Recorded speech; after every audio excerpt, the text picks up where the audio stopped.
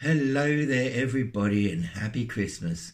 I'm here to share with you one of the miracles of this time of year as given to us in the teachings of the sacred book, the Holy Bible. I'm here to celebrate, in particular, Mary, Jesus' mother, and in a way also Joseph, Mary's husband, upon whose shoulders was placed the important task as a kind and spiritual man of raising the young boy Jesus and bringing him successfully into a meaningful manhood. Well, the Bible teaches us that Joseph was a tekton by trade. What is a tekton, you may ask? Why, it's the old term of those times for a carpenter. That's right, Joseph was a good working class man. I can just imagine him one lunchtime there in the builder's yard in Bethlehem, chewing on a little bit of goat and pigeon, which was standard fare in those times, and saying to his workmates, Hey, guess what, fellas? Mary's pregnant. And his workmates there in the builder's yard would have said, Ah, Joe, well done, son. We're proud of you.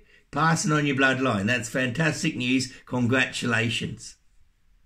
Joseph would have said, uh, no, no, fellas, the, the kid's not mine. And his workmates would have said, Oh, Joe, mate, we're sorry to hear that. You must be gutted. What's Mary been up to? But Joseph would have replied to them, smiling away, Oh, no, fellas, it's okay. Mary's still a virgin. We don't do that sort of thing in our marriage. And it just so happens that the father of Mary's child to be is God. What was that, Joe? His mates would have said. Ah, God, says Joe. You know, the fellow leaping around in the sky with his big white beard and his sandals on.